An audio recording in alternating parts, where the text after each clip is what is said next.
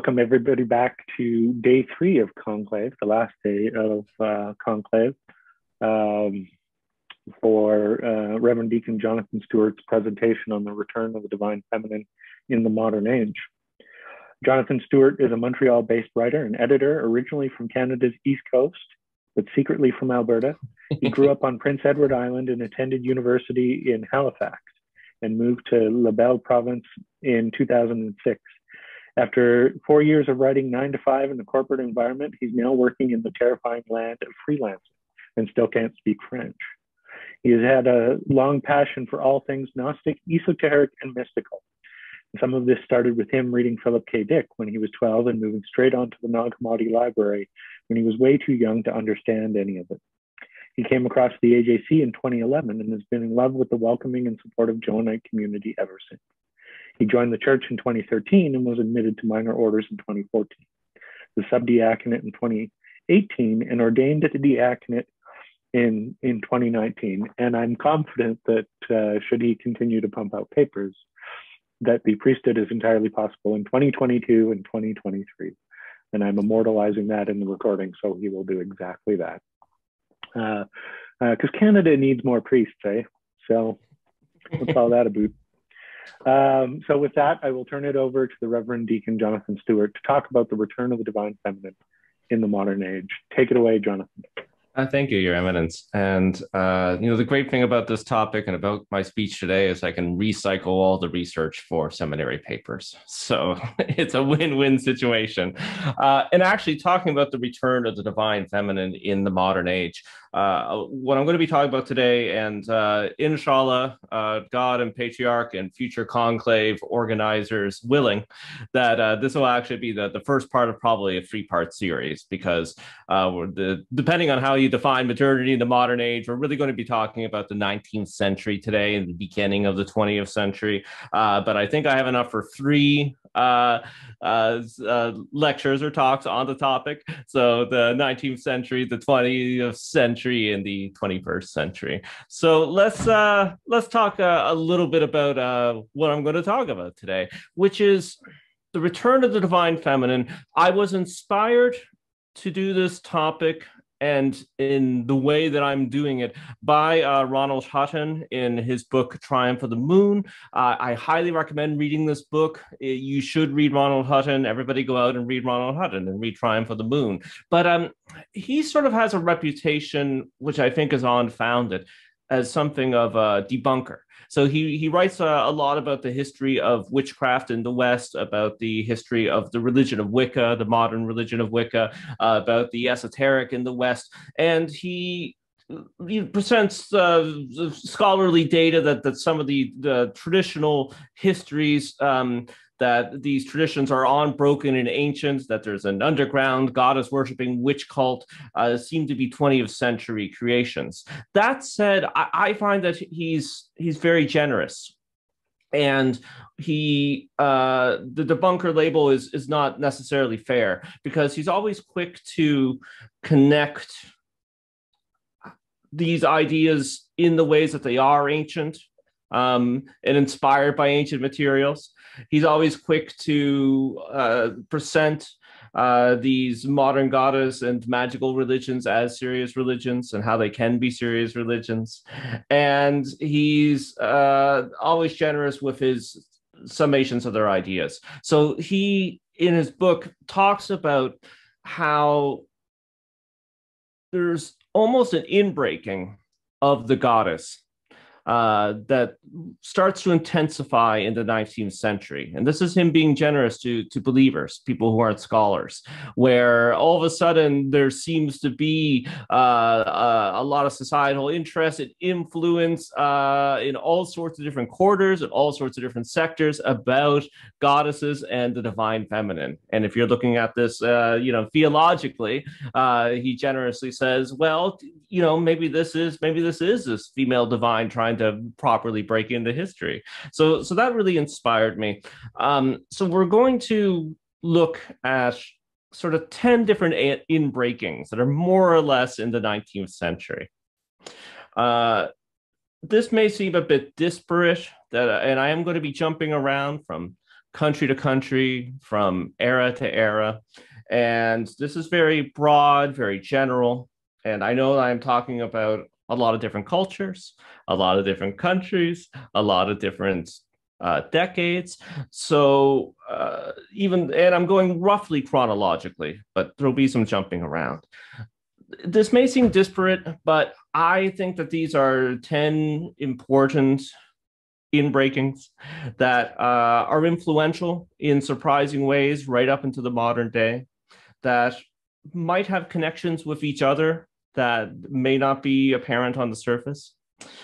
And um, this will culminate in the revelation, the revealing of uh, perhaps secret isn't the right word, but a forgotten, a veiled uh, goddess worshiping religion at the end of the 19th century, one that's not talked about much today. That's even as this topic is becoming popular in scholarly circles, is not really discussed. So a forgotten, veiled, but influential uh, secretish goddess religion at the end of the 1800s. Um, and just to emphasize when I talk about divine feminine goddess spirituality, you know, this is one of the most uh, important religious developments of the 20th century, right? And bleeding into the 21st century. If you are uh, interested at all in religion, in uh, as a practitioner or as a scholar or as both, you have to tackle uh, the late 20th century interest in uh, goddess religion in the divine feminine. Uh, particularly, you know, starting in the late 60s, the 70s, the 80s, the 90s. Um, this is uh, this is a huge important uh, movement, uh, and of course uh, for modern Gnostics with our uh, uh, ancient traditions about divine feminine figures, that particularly important. Um, one last thing before I finally actually start. Um, which is uh, sometimes talking about the divine feminine, talking about a divine figure, the definition of a goddess. I, am thinking of uh, uh, Dr. Litva, who's been on uh, Talk Gnosis, where his uh, scholarly work is really around theosis and becoming divine and uh, humans becoming divine figures, where how we define a god is uh, often really culturally biased uh, because of this huge focus on monotheism in the West. So, if you were sort of uh, an independent scholar uh, who didn't know anything about Christianity, you know, you would study this religion, and okay, maybe internally they don't call angels gods, but this is a, a divine being that uh, uh, doesn't have a body, that can do miracles, that descends to earth, that can be uh, prayed to, that can be looked at as a, as an intermediary, you know, particularly in if you think about Catholicism, but also lots of different forms of Judaism, Christianity, and Islam have uh, uh, angels as, as uh, intermediary figures, right? Or the Trinity or the Virgin Mary. If you were looking at these from the outside, uh, you would say, well, these, these are divine figures. Okay, now internally, this religion might have some distinctions, but as far as I can tell, th- these are gods. And this is how we, you know, kind of treat other religions. So keep keep that in mind when we're sort of talking about the divine feminine, divine figures. Um, we're going to start at the end of the 1800s. So, influential idea number one, because it has to be tackled, but we're not going to spend too much time with it, which is scholars started to believe across Europe that there was a, a primal, primeval uh, cult of the goddess, and that this was a monotheistic goddess or a at least uh, part of a, a duo but uh, uh, a very important deity and that later goddesses were uh, reflections or misrememberings or guises of this primal goddess. Uh, now, this idea uh, you can still uh, hear today, often in sort of New Age and, and religious sectors, but it's it's really fallen out of favor in scholarly circles, and it has for a long time. And you know, this again, we're you're going to hear me say this a lot because I love saying it. There's a whole lecture right there. But we're just going to start there because I think you can see why that is an important and influential idea if we're talking about across the West uh, uh, tackling ideas about the divine feminine. Okay, number two, I tricked you. I said we're so we're going to talk about the modern age, um, but we're going to go back a little bit to the 17th century to the 1600s that's right. This is the first lecture of the day, so you have no excuse to fall asleep uh, unless you're in Australia. In that case, camera on. I'm watching you. Uh, this this is uh, a future topic that I would love to do a conclave because sort of one of the secret influential figures of the Western esoteric tradition uh, is um, uh, Zevi. Uh, 1626 uh, to 1676. Uh, he was a, uh, a Jewish uh, uh, Kabbalistic philosopher, religious thinker from um, modern day Turkey in the Ottoman Empire who declared himself the Messiah and had a what I think perhaps to, to modern ears and to the ears of people at the time, was a very heretical interpretation uh, of Kabbalistic Judaism. So uh, with Zevi, he um, he had uh, announced that he was the Messiah, and this was the coming of the Messianic age, and that the Jewish people would be restored, uh, that uh, Israel would be restored. Um, but in his system, in his Kabbalistic system, because the Messianic age had come, uh, things were being flipped on their heads. So the old rules that were in Judaism no longer applied because those were for the age before the coming of the Messiah. So he would do things where uh, he would publicly break, you know, some of the important rules of Judaism. So he in public would uh, uh, uh say the forbidden name of God. Uh, I don't know. He would have a ham sandwich. Uh, he married a sex worker um, echoing both the the prophet of Hosea in uh, the Bible, but uh, also some other Gnostic and Kabbalistic figures. But we'll talk about that in a second. Uh, he publicly also uh, married the Torah. Uh, he um, uh, broke the Sabbath. So. And he's also accused, and his followers are accused of um, um, uh, the, the, lots of sex things. And some of that seems to be true. So when, when we come to the sex stuff, the uh, it, it's a common uh, trope when you're kind of talking about heretical religions that you don't like, that they do a whole bunch of freaky sex stuff. So maybe the freaky sex stuff with Zevi and his followers is over exaggerated, but it, some of it seems to be true. And there's sort of two things behind the freaky sex stuff. One is this this flaunting of the rules, the breaking of the rules, the rules no longer apply. Okay. Um, and the in his Kabbalistic system, there's a lot of symbolism about male and female polarities of the divine. The divine is a unity that has uh, a sort of fractal uh, uh, uh, uh relationship of emanations. And some of those are coded male and some of those are coded female. Uh, and that this gets expressed in very um, uh, sexual language um, so there, there seems to be sort of a, a living out of um, the uh, uh, the symbolism. Uh, what's all this have to do with the divine feminine? We we are getting there. Uh, first is both this idea of casting off the old rules, but also because it's a messianic age, there there was a strong political message, which is now there's extreme equality. There's going to be extreme equality within the Jewish communities, but also the entire earth because the Messiah has come. It's going to be the reign of, of God on earth. So that got people thinking, you know, that the Messiah is here now. Uh, so equality starts. Well, how do we make equality right here in our communities? And, you know, people looked around and it, uh, it seemed that women women were unequal, right? So within Zevi's community, uh, women uh, gain a lot of uh, power, respect, uh, treated as equals. Um, and of course, this becomes a feedback loop, right? Because as, when when you notice that uh, women can be leaders and women can be spiritual, the leaders can uh, spiritual leaders who have insights and kabbalistic insights.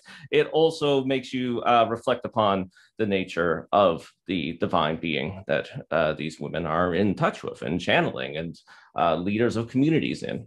Uh, and of course, since we already have this Kabbalistic uh, symbolism where we're talking about some of the, the female nature of God, you uh, uh, you have a, even more of a framework. So there's equality, but also ideas about the female aspects of God become very important. Uh, one of the most important is sort of a Sophianic idea that uh, the the female nature of God uh, has a sort of descended, fallen Sophia Achamoth aspect, which they called the Shekinah. Um, and they really did use sort of Kabbalah, as many people out there would recognize it in the Hermetic communities. So this would be Malkuth on the uh, the Tree of Life. And for those who don't know what I'm talking about, just Google uh, Tree of Life uh, Kabbalah, and this is uh, ten Sephiroth, ten emanated aspects of the divine, which are fractally uh, reflected in all creation, and again are balanced uh, between male and female pairs. Some of them are coded as male, some of them are coded as female. There's an idea of a higher female and then a descended female, which is sort of trapped here in Earth, um, trapped here in matter. Uh, and part of Zevi's um, mission is to actually redeem this aspect of the divine, uh, which is trapped here in Earth um, trapped within our own souls, and uh, part of the way that it's redeemed is is through through actions, uh, as well as meditations, as well as rituals. Um, and Zevi and his followers also emphasize the unfallen, the higher aspects of the female divine, and would address prayers to God's wife and God's mother. Um, finally, coming back to the freaky sex stuff, um, Zevi believed that um, that to properly have the messianic age and to bring universal reconciliation to uh, uh, fix the the hole that was in the divine that the because the world was was fallen and broken that the fallen shekinah actually had to penetrate as into every aspect of the universe including its darkest corners okay? And actually one of the reasons that reconciliation hadn't happened, that uh, that the whole universe didn't come back together again, that the messianic age hasn't come, is because this is a slow and brutal process, and that the Messiah actually has to descend with the Shekinah, and that previous messianic figures, including Adam, including the prophets of the Bible, only went so far and weren't able to go all the way down with the Shekinah into the darkness. Um, the darkness that's guarded by a uh, multi-headed dragon being, uh, which which is very demiurgic. Um, this actually pops up uh, a couple hundred years later in uh, the symbolism of the Golden Dawn, which is very interesting, but we'll, we'll get to that later. So doing some of the freaky sex stuff or breaking some of these uh, important rules within Judaism was uh, seen as going into this darkness, into uh, descending. So this is another reason why. So we have a couple different reason whys to break the rules. Uh, so I hope I'm making sense. Uh, that's a tough thing with uh, with these lectures on Zoom, right? No feedback. Actually, I should have um, I should have uh, said that if people have questions or comments, they can they can jump in there. Um, oh yes, and uh, His Grace says, don't forget a Muslim co- uh, convert. we'll we'll definitely cover that, Your Grace, because yeah, we're we're, we're almost there. So, uh, so this idea of, of, of, of doing these, these dark actions, going to these dark places, doing all this stuff is uh, accompanying the Shekinah, bringing the Shekinah into every every inch, into every human experience uh, in, in every place. So uh, Zevi is uh, traveling all around. Uh, he basically uh, he lives all around uh, from from Cairo to Jerusalem. he's usually run out of town, but he's getting a very big movement, and authorities are, are getting quite worried about this because there's also, of course, political ramifications when you declare yourself the Messiah. He decides to go to Istanbul, to Constantinople, which is the the seat of the Ottoman Empire at the time that the Ottoman Empire is probably at its height. So one of of the uh, great empires in world history. Um, and uh, one of his followers, his sort of prophet, Nathan, uh, unfortunately says that when he arrives in uh, Constantinople, that the Sultan will take the crown off of his head and place it upon Sabbatai Zevi's head.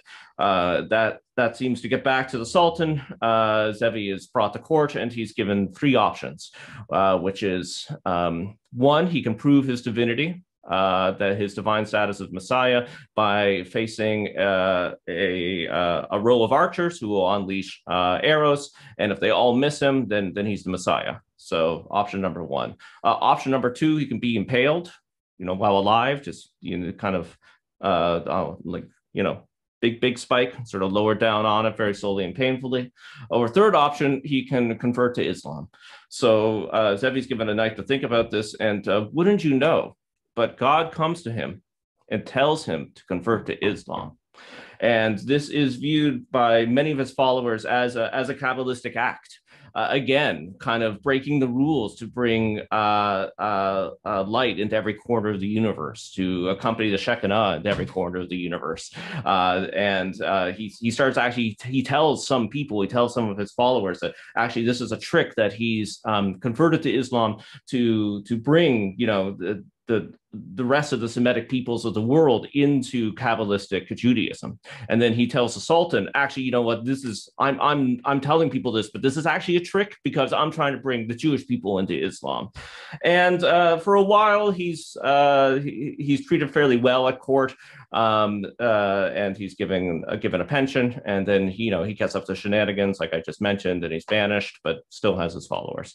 So I know we're only on number two, uh, but uh, leading up to Zevi, after Zevi, we have uh, Jacob Frank. Jacob Frank, uh, 1726 to 1791, who saw himself as a reincarnation of Zevi. He was uh, Polish, but he was a merchant who traveled around uh, uh, throughout the Ottoman Empire, throughout uh, Europe, and made connections with uh, the, the Frankist communities that were left after Frank's death. And he believed that he was uh, the reincarnation of Zevi, as I said, and a messianic figure and a divine figure, perhaps uh, the incarnation uh, of the Logos.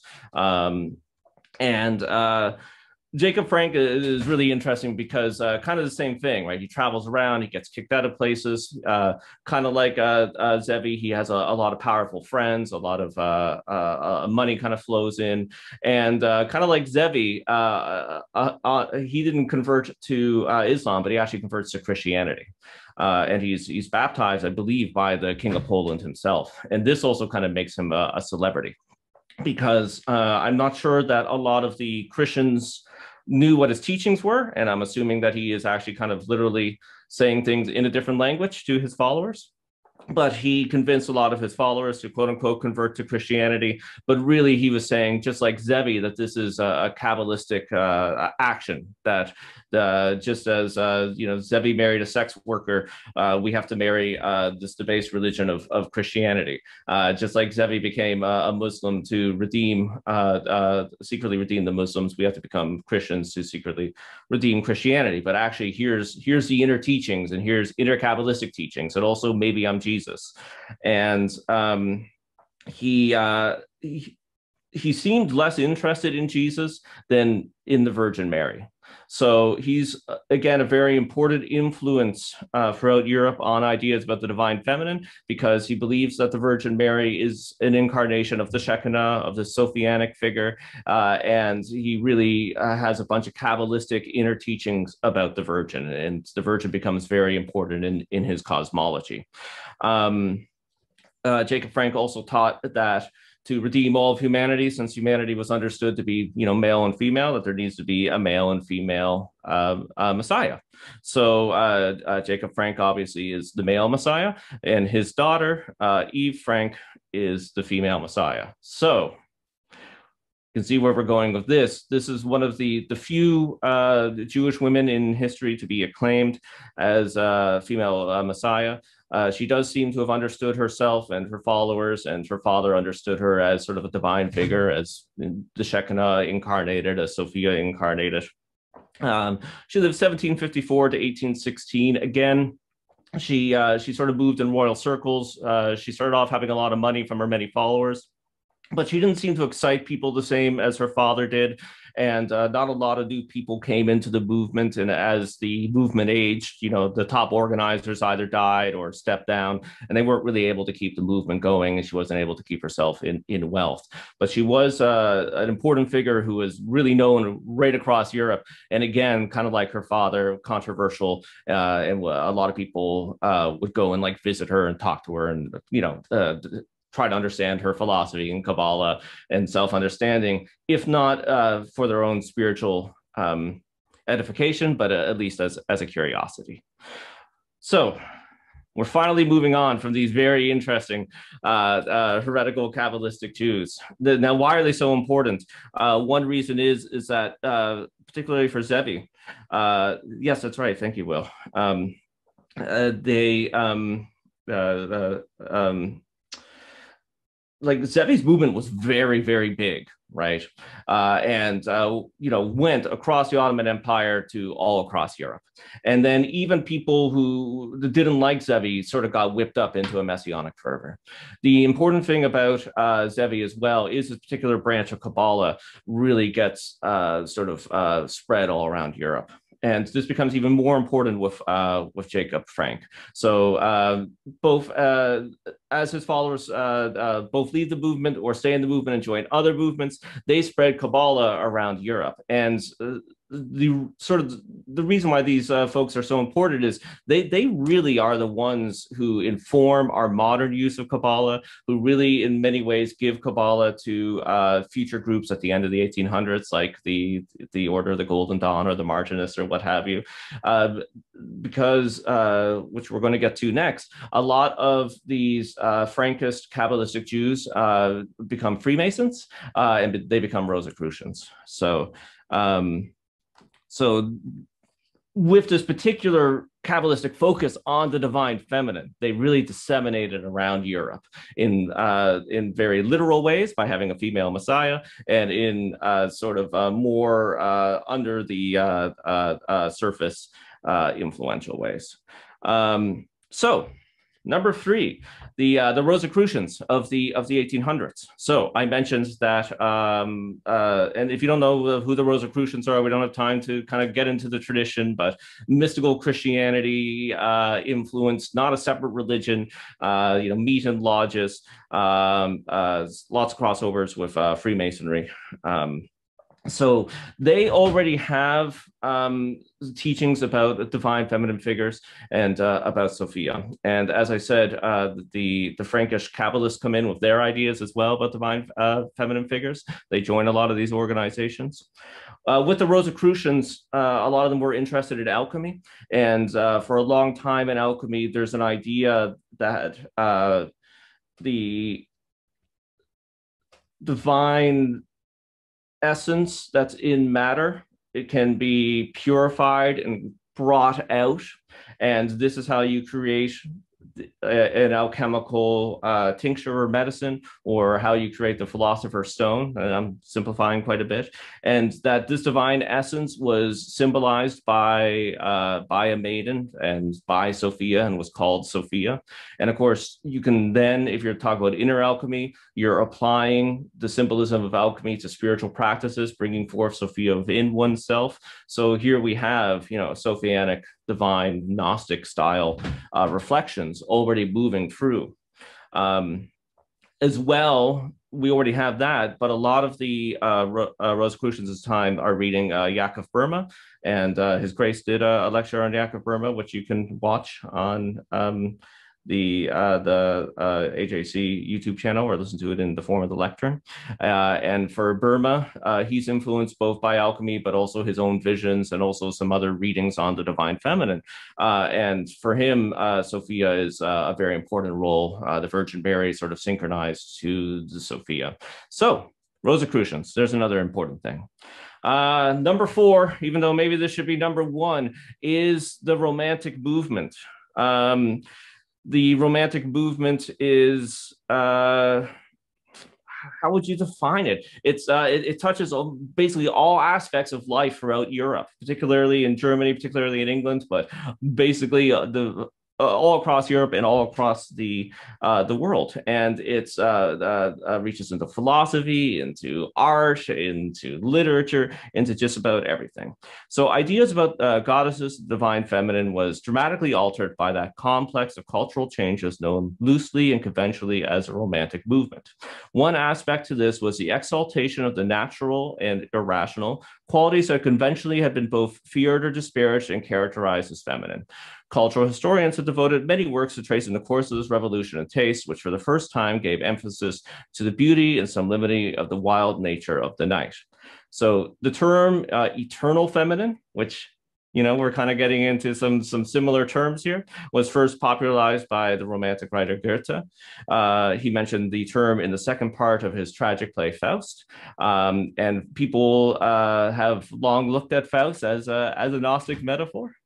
Um, and, and, embraces this philosophical view of the female, depicting uh, women as pure, delicate, celestial, and unbeatable. Um, spoiler alert for the end of Faust, if you haven't read it. Uh, the, the, the, Faust uh, sells his soul uh, to uh, to a demonic figure, um, but he does it for knowledge, so it's okay, and he does it for love, so it's okay. But basically, he instead of going to hell, is actually saved by a, a procession of uh, divine feminine figures uh, saved by Sophianic figures, saved by wisdom. So uh, when he dies, uh, the the Mater Gloriosa, the glorious mother, appears, who seems to be the Virgin Mary, but is also uh, talked about uh, deliberately with uh, languages from the ancient world to describe Isis. So he's kind of synchronizing her to other great mothers, to other divine figures. Um, and then three famous women from the Bible uh, show up to argue with the with the great virgin that he should be allowed into heaven. And then finally, his lover, his symbolic allegorical lover Gretchen appears, uh, and all these divine figures together uh, grant him uh, redemption. So uh, all of the transient is parable only. The insufficient here grows to reality. The indescribable here is done. Woman eternal beckons us on. Um, we also have a great appreciation in the Romantic era of um, uh, uh, Greek myths um, that really become um, uh, back into style in a huge way uh, understood uh, both allegorically and uh, and as inspirations for many works of art. So you have lots of plays and paintings, and of course, if you have Greek myths, you're going to have lots of divine female figures, right? Uh, fairy tales. Now, I know this might seem strange to you, but you, you know, until the Romantic era, uh, the fairy tales were were looked upon as um, you know dumb stories for kids that uh, that didn't have anything of use. And then actually, fairy tales would probably be more important and have a more elevated status in the Romantic era because there's this idea of uh, fairy tales as sort of the the folk traditions of the nation of uh, important uh, legends legends and stories of the people that contain so much of their heritage and perhaps uh, uh, the, remains of their ancient gods, for all we know. So fairy tales become uh, collected, uh, they become codified, they become quite popular, they become told to, to children uh, in sort of an organized fashion, you know, instead of just being, you know, you know uh, uh, now you have hundreds of, of fairy tales for children instead of whatever the local ones that your mom or, or wet nurse knew. Uh, why am I rambling about fairy tales so much? Well, we have all these divine figures, right? Going back to my definition of what a divine figure is, but uh, uh, we're everybody from witches to lots of female heroes to queens. So this is getting into people's heads, right? And it's also showing up in art quite a bit. Keats, Shelley, Rossetti, who is both a painter and a poet, uh, Robert Browning. They uh, used the Greek goddesses as well as basically their own creations, where they, this is where we're really getting sort of a, as a placeholder idea of a goddess that represents all the other goddesses as well as nature. Uh, this really becomes big in the Romantic movement, although they are drawing on medieval sources that sort of that either use the goddess Venus or just a, sort of a generic goddess as, uh, as a symbolic allegorical figure, not really as a religious figure. Here, they're taking that allegorical figure to the next level, and things are starting to get religious, right? As Rossetti says, uh, sacred goddess, Mother Earth, thou from whose immortal bosom God and men and beasts have birth, uh, leaf and blade, bud and blossom. Uh, the myth of Persephone becomes really important uh, and pops up in all sorts of different places. Uh, uh, Margaret K. Louis wrote a whole book about it called Persephone Rises. And she says, in this case, was Persephone was translated as a fascination of deep and hidden forces within the individual psyche and cultures, giving rise to the symbol of a life giving and appalling underworld. As a cor- corollary, the undermining of the religious faith led to new questions and approaches to death and resurrection, while at the same time, as another result of societal change, as the alteration in the position of women led to fresh views on marriage, rape, and mother daughter relationships. How are we doing here? Okay, I'm going to speed through a couple uh, spent too much time talking about uh, Zevi and uh, Jacob Frank and Eva Frank, uh, the female messiah, but they're just so fascinating. Um, here's an exciting one, uh, which I really think you can draw a straight line. Uh, but you're going to have to wait to part two or part three in future years, inshallah. That going to you know the pagany new age um, uh, uh, ideas of the present day.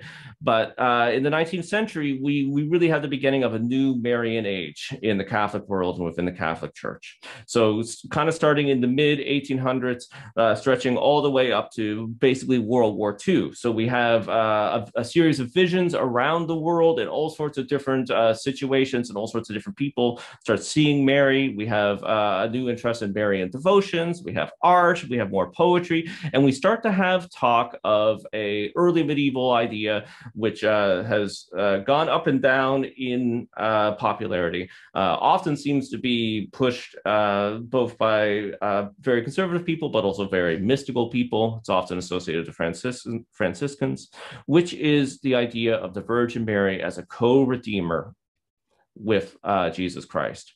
Now, again, I, I don't have to talk about how this is an obvious elevation uh, in her divine status, even higher. Um, but really emphasizing the idea of co-redeemer without making it quite uh, official uh, uh, church uh, um, um, a doctrine. So the popes and the encyclicals, starting in the mid 1800s, start dancing around and using some language similar to co-redeemer, and start getting the people who are very interested in this idea quite excited. So that is circulating around the world.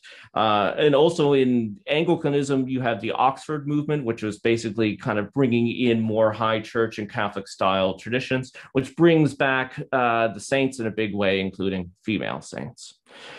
Okay, number six, uh, uh, spiritualism. So uh, uh, seances and spirit, uh, uh, uh, speaking to the dead, uh, becomes a, a, huge trend and religious movement in the mid 1800s, and it's particularly associated with women. women seem to be easily become leaders in this movement, respected religious leaders, respected for their mediumship and insight. For many reasons, it, it's believed that women are natural mediums, that that they can uh, easily uh, access uh, this the spirit world, um, and society seems to be able to create a space for a variety of women, including many working class women, to set themselves up as uh, uh, leaders and as mediums, and not just you know your loved one misses you, but uh, channeling religious insights from the spirit world. So, Spiritism sort of has, even now, a bad reputation, partly because of its association of women, actually, to be honest, but also because some of these mediums were later shown to be frauds. Uh, but that said, the religious dimensions of this movement are often um, uh, misunderstood and underplayed. So, it wasn't just, you know, talking to the dead to, to see, to have reconciliation between the the dead and the living. They believed, uh, uh, many of them believed that the, the spirit world was dynamic and that after you died, you actually uh, kept evolving uh, through the spirit world uh, to higher and higher levels, uh, as well as spirits were um, the spirits of the dead. You know, a very ancient idea coming back, were were intermediaries between uh, uh, lower and higher. Uh, that is basically they could connect you to to God, um, and it would often be sort of combined in very interesting ways with Christianity, right? So becoming uh, uh, a very bizarre version of Christianity uh, that also includes reincarnation, that includes you know people channeling things, uh, and it becomes a religion and it's still a religion. Uh, like there, there's a spiritist church uh, here in Montreal. So, it, uh, so people, you know, have uh, church buildings get together sing hymns uh, have a have a sermon.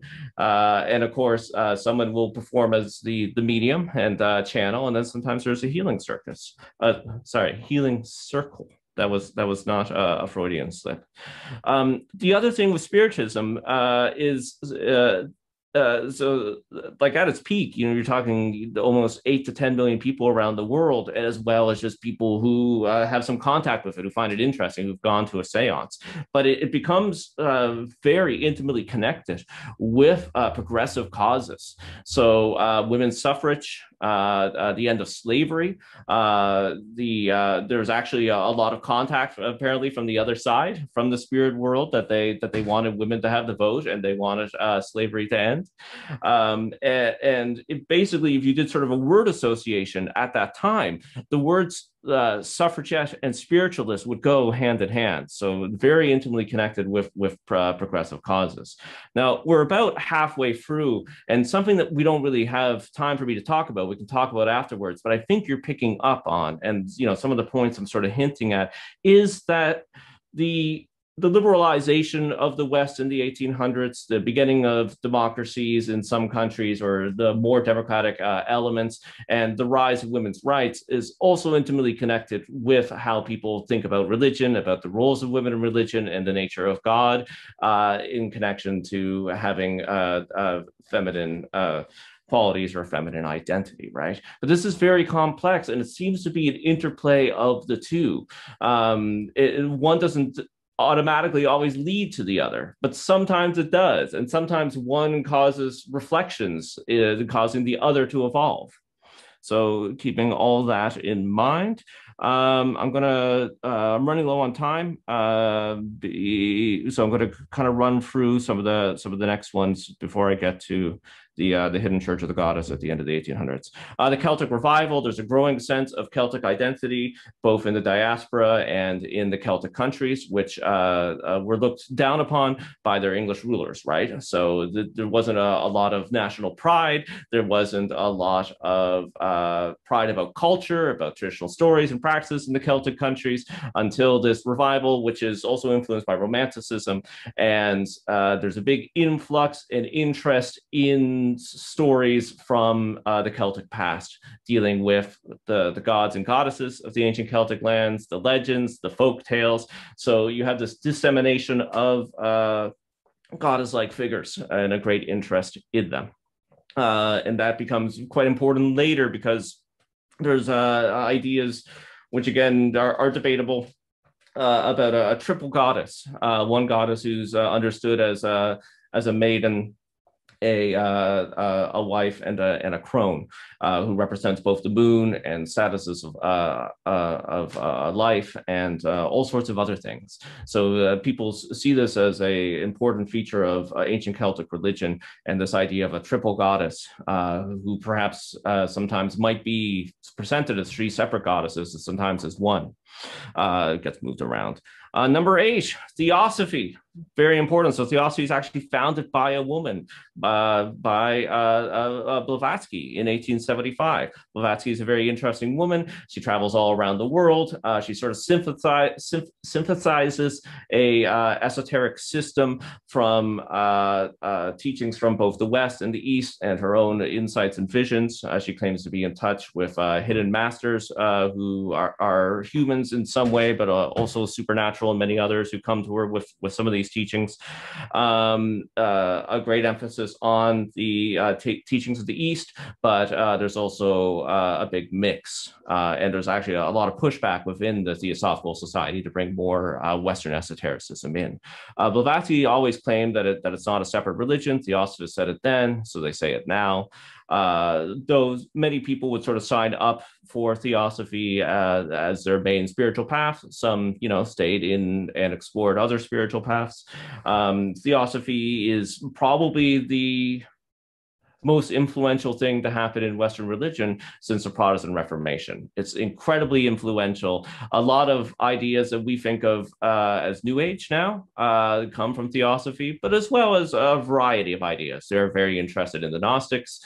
Uh, G.R.S. Mead, uh, uh, who is uh, Blavatsky's secretary, you know, translates and circulates a lot of Gnostic documents. And as I said, there's sort of pockets of interest in Gnosticism and Hermeticism within the TS. So um, with the uh, so the TS is founded by a woman, uh, and uh, all of the important leaders after Blavatsky are women. Uh, again, for sort of some of those connections between alternative religion and progressive causes, uh, Anna Anna Kingsford is the first woman to doctor in England, or at least one of the first uh, women doctors ever in England. she's particularly interested in Gnosticism and Western over Eastern. She formed the Hermetic Society, and she was the head of the London branch of the Theosophical Society. She's also remembered uh, as a birth control advocate, as a suffragette, and she would probably be much better known today, uh, as well as many of the women connected to Theosophy. Uh, if it wasn't for historians kind of being like you know this this weird stuff is freaky um, and uh, this is what they really got into and really wrote about later in their lives uh, so they're sort of left out of uh, or diminished in in the history of uh, feminism in the west uh, but anna kingsford was very important uh, annie annie besant um, who uh, became the president of the Theosophical Society and actually grew the Theosophical Society to the largest that that it was, and you know, honestly, ever will be, led it to its greatest success. She definitely would have been remembered as an important suffragette, uh, birth control activist. Uh, she fought for Irish and Indian independence her whole life.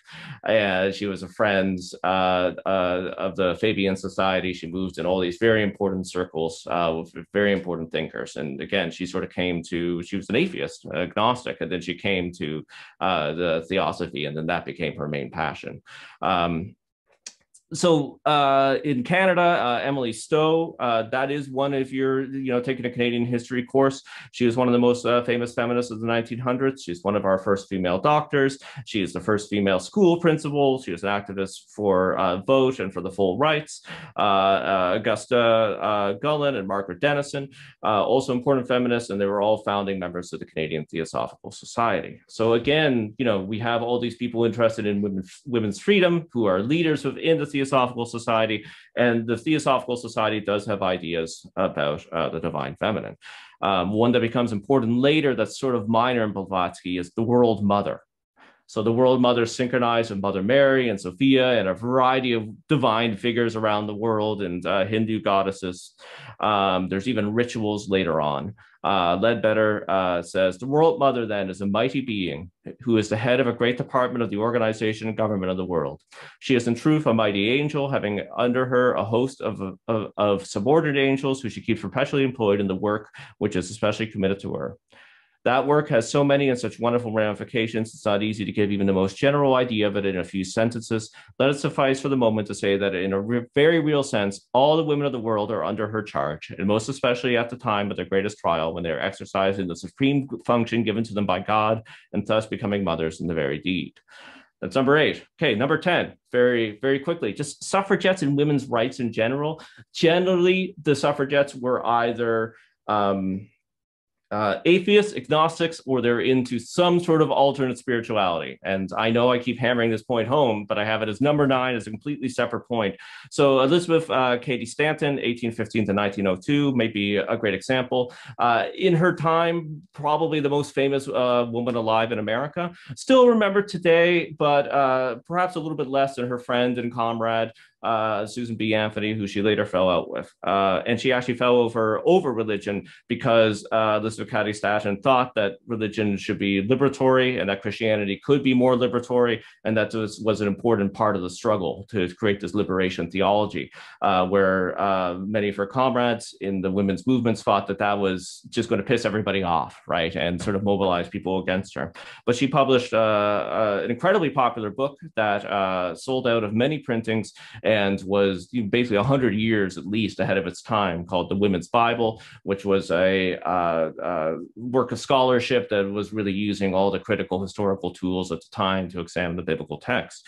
And uh, within that, she, she says the Trinity was composed of a heavenly mother, father, and son, and that prayer should be addressed to the ideal heavenly mother. Number 10, we made it, folks. And how am I doing for time? I, I have 15 minutes. I'll run through You're doing this. Pretty good. We'll have some time for questions too. Okay, fantastic. I'm I'm really happily. Oh yeah, sorry, and I, I didn't have my screen open because I was looking at my uh I was looking at my um uh, notes, but uh, uh thank you, Will. Immaculate Conception, of course, so uh, is very uh very important uh when talking about um this deification of Mary. Okay, the secret hidden Church of the Goddess in the end of the 1800s. Um, this is a church that, that I would say uh, movement, religious movement, that is um, the only one that I know of uh, the in the West for at least thousands of years, if not ever, that is specifically a, uh, a movement that is recognizable as a religion, that has uh, priests and priestesses, that conceives of itself as a separate religion, that has uh, everything that we in the West uh, kind of think of as a religion. Uh, so, you know, rituals, uh, the doctrines, holy texts, prophets, the, the whole nine yards of whether that is right or not about how you should define religion has has all that. So um, very different from some of the other movements that I've been talking about, right? To have a because the Theosophical Society claims it's not a religion. Um, However, if you pick up a book like the Ronald Hutton book, uh, uh, there is a lot of scholarship on goddess worship, as I said, because it's so important when you get into the 20th century. That it, that if you pick up a scholarly book, you're not going to find any mention of this movement. But uh, even if you pick up like uh, a book by like you know Raveness uh, uh, Moonsphere that that's kind of talk about the history of the goddess, you're probably not going to find anything about this movement. So let's read a statement from one of the leaders of this this movement. Uh, I don't have the intention here of giving the full expose of the doctrines of the Gnostic Church, but there is one doc, uh, dogma on which I would like to insist. It is the dogma of feminine salvation. The work of the Father has been completed, that of the Son as well, remaining as that of the Spirit, which alone can determine the definite salvation of terrestrial humanity and prepare the reconstitution of the cosmic ad- Adam Kadmon. The spirit, or the paraclete, as the Cathars named it, corresponds to that which is feminine in the divinity, and our teachings specify that it is the only face of God which is truly accessible to our reason. The Hebrew language identifies the spirit as ruach, which is of the feminine gender. What exactly will be the nature of this new and next Messiah? Will it be a woman from the elite with a specific mission of working this salvation, or will it be a group of divine women? I couldn't say, but what I do know and affirm strongly is that by the eternal feminine, that the world will be saved. That comes from uh, Fabre des Essarts, uh, who was the, the second patriarch of the restored Gnostic Church of the 1890s. So the, the Gnostic Church of the uh, Fin de Siècle France, uh, the the one that uh, bubbles up that we have lineages to at the end of the uh, 1800s uh, has a great emphasis on Sophia and the feminine aspect of God. So again, if you're looking at this stuff as a scholar, uh, you have a divine goddess figure. You maybe you're not saying the word goddess, but who is incredibly important and emphasized in this system in an organized, systematic, doctrinal fashion here we have one of the most important goddess cults in the modern age. Um, so the Gnostic Church, specifically this Gnostic Church, there are Gnostic churches before the, the the the French Church at the end of the 1800s, but it started by a man named Jules Doinel, who was a archivist and a librarian, and for his whole life had uh, visions and uh, uh, uh heard voices. Uh, you know, interpret that as you will, but uh, you know, divine voices. So he actually became again going back to the importance of spiritualism. he became interested in spiritualism because that seemed to be an organized and systematic fashion to make these connections that he was spontaneously having. So first there, but then he started, uh, he discovered uh, some Gnostic documents in uh, the archives that he worked at, and he read those, and those really inspired him. And he started uh, having visions that uh, uh, involved Gnosticism. Um, he uh, uh, so he is involved in a variety of alternative spiritualities. Uh, and uh, the quote here: "In his frequent attempts at communication with spirits, he is confronted with a recurring vision of divine femininity under various aspects. He gradually developed a conviction that his destiny involved his participation in the restoration of the feminine aspect of divinity to its proper place in religion." So this was uh, a path that he was on before knowing anything about Gnosticism. And he already had a sense uh, that he had been chosen for a divine mission of restoring uh, the role of the feminine in religion in the West in general. So as he starts to become interested in Gnosticism, obviously he can see some doctrines that are making some connections. And then he starts having some visions, including one where the Aeon Christ and uh, a, a, group of uh, Gnostic Cathar bishops actually tell him uh, that, that they're consecrating him, that, uh, that they, they place his hands upon him and consecrate him a bishop, and with everything that that entails. Um, but the big one is and I, sometimes these visions are, are mixed together, but I, I, believe they are separate. Sometimes when dealing with the the fin de Siècle uh, uh, French era, when you don't speak France, uh, when you don't speak French, it can be uh, a bit of a challenge.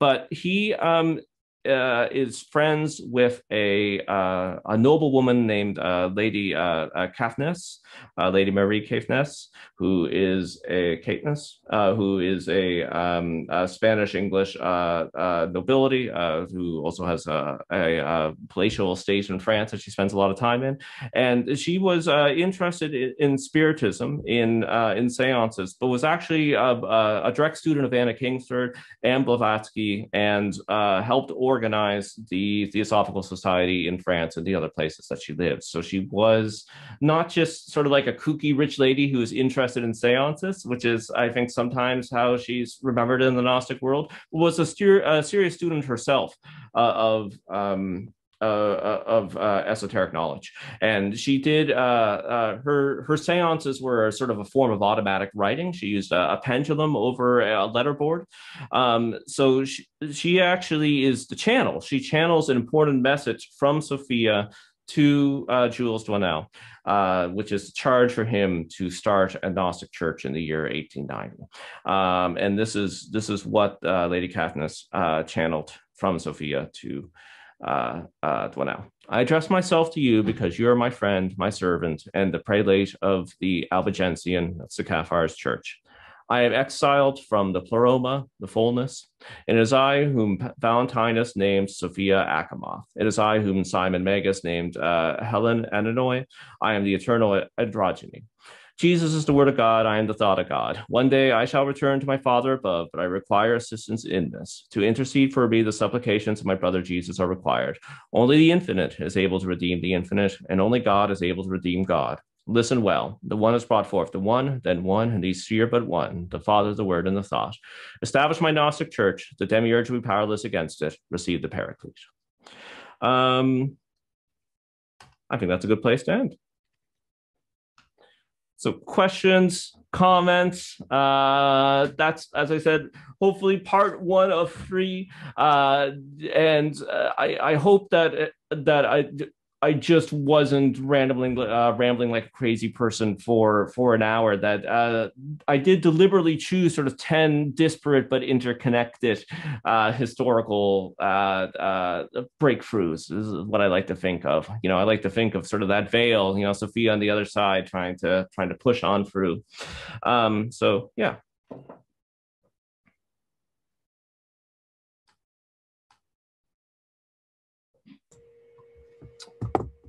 First of all, thank you so much for for that. I mean, it, it was it certainly was ranging all over the place, but um, made a lot of connections that I certainly uh, hadn't made uh, myself. Um, I'm interested, uh, just one little detail that you mentioned uh, right at the very beginning, um, which is the idea of the the sort of Asiatic uh, mother goddess. Um, and you suggested that that uh, the scholarly uh, community has has moved uh, away from this. This is new to me because I'm not I'm not up on recent scholarship there. Can you say a little bit more about that? Because that's a, a movement that I was was unaware of. Yeah, I I don't want to, of course, say that there's there's no Asiatic mother goddess, right? Um, but there's and, and uh, I'm also being uh, um, you know rather quick on that entry, right, as a survey. So, so I didn't really go into the idea that they moved away from, which is, you know, much more of a specific end of the 1800s, beginning of the 20th century. That that this one specific goddess from every inch of Europe and beyond where humanity was uh, represented the exact same divine figure right oh, okay. um, and you know modern scholarship really you know uh, um, kind of looks at this and says, you know, well, you know, the, we, when we take up some of these statues, there might be some similarities, but these, these were probably pretty different cultures. Um, and some of this comes from, um, you know, this is very interesting. I, I know your grace, uh, probably something that you find very interesting, but I always finding, uh, and it's, it's much more apparent in, in older scholarship, but still, I would say apparent now, um, the, these hidden Christian biases, because, you know, what, what that narrative is, is a primal monotheism, right? That then because you know you have this primal goddess who becomes a multitude of characters in sort of a uh, degradational way right? Um, which is which is a christian narrative right? You start off with monotheism uh, worldwide. Every culture is originally monotheistic in some way. And then the idea degrades over time becomes heretical and you start uh, uh having idols and different representations of, of divinity. So uh, you know subconsciously these scholars are actually taking this idea and applying it to something that's very different from the christian god so. Yeah. Yeah, yeah. i hadn't made that connection either. Thank you very much Uh, Christian's got his hands up. Christian, go for it. Yeah. So, um, with with the title, the the return of the divine, the divine feminine, uh, that of course implies the the losing of the divine feminine. And in your opinion, is is that more um, the, the reasoning of that lost? Is it more a direct oppression, uh, like or suppression of it, or is it sort of a a forgetting of it and more of a focus on on the divine masculine i guess in a way? Uh, what's your opinion on that? Yeah great question. And again for some some sort of like and uh, uh, uh, i disagree with modern scholars on quite a bit actually.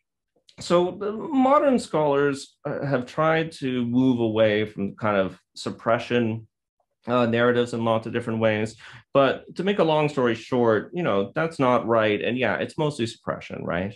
So I, I think, and, and this is, you know, perhaps uh, a whole discussion or, you know, a topic to, to talk about a conclave is, is this interlinking of ideas about God and the divine feminine and the role of women in society, right? Um, and I, that that connection, I think sometimes it's overemphasized, sometimes it's underemphasized. But if it if it doesn't automatically uh, create, you know, perfect equality and a feminist utopia to believe in a goddess, right? Which it probably doesn't. It, at least the powers that be were scared of that, right? So there does seem to be a societal reason uh, why the divine feminine is is always pushed down. So uh, that was a very long answer to say, yeah, oppression. um, now, when we talk about return, you know, some of this return is mythic, right? When you, when you, when you, you know, I'm kind of dancing around or talking about some of the different movements and some of the different goddess movements that have, you know, legends about a, a primal goddess utopia. Um, so, you know, is, is that returning? Well, was that ever there? But if you specifically think about Gnosticism, right, and the role of the divine feminine in Gnosticism, and my thesis basically that, that this is a very important goddess movement um, in the modern age, uh, then that's definitely a return, right? Because Gnosticism used to be around and, you know, then it disappeared for a while. So yeah. Why why use five words when you can use 500? Um, Angie? I just wanted to say that I really enjoyed your presentation. Um, you know, last night in the talk, we, were, we the question I brought up the question of well, how how do we bring the feminine into our practice? And and so having you give this talk, I feel like really starts to bridge that. You know, not just it's not just women going, hey, let's talk about the feminine. Having um, other men also talk about it, I feel like it's really important. So thank you. Oh, thank you. Yeah. Well, as I said, stay tuned for uh, part two and part three in years to come. And, you know, thanks for staying awake for the whole thing. See, this was the really like, obviously, all the conclaves are really interesting with lots of interesting talks. But this is the one where it's like, oh, you know, it's not a lot of history. There are all these exciting ideas, right? Uh, ideas about creativity and the role of Gnosticism in the modern age. So I'm glad to have come in and ruined that with a long history spiel. We, we needed it. Thank you. Yep. History talks are my favorite talks, and I, I thought that was excellent. Yeah, you could definitely have a dedicated talk for for uh, you know each one of those uh, each one of those sections. So I hope you I hope you follow this up either in talk gnosis or we can dedicate some time for a, a one-on-one for the lector. Oh yeah, that'd oh, be fun. Uh, uh, Scott's got his hand raised, so go next, Scott. Uh, so to pull it back into the whole ideas and art uh, theme that we've had going throughout history, the the rebirth of the mother goddess has come through art. Yeah. And it has come a lot of times, as you were saying, through like the Romantic period and through depictions of the Virgin Mary and this Asiatic goddess. That's kind of how they came about, as they found the statues. And so I think we still see that. We see uh, Salvador Dali with his uh, pictures of the Madonna, and the Madonna is his wife. So she's elevated to this sort of deific figure in his paintings. So uh, I don't think you've necessarily broken the uh, the chain, as it were. Um, maybe what we need to see too is some more modern Gnostic depictions. You know, not just Jules Doinel with his vision, visions, but maybe we need some art and some stories and some uh, of these sorts of things that encounter that that current within Gnosticism. What do you think of that? Uh, I, I completely agree. That, that's all I can say. Uh, so, good idea. Let's do it.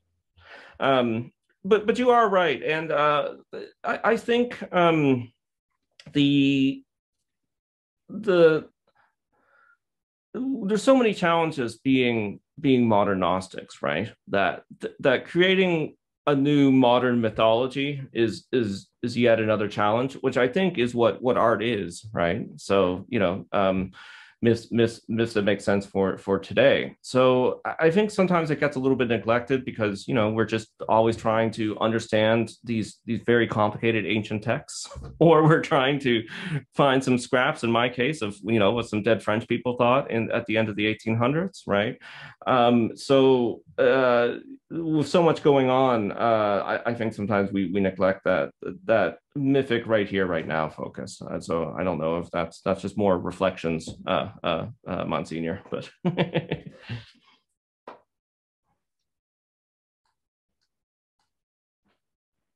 okay Okay, dokie. Well, thank you very much for that. That was that was fantastic.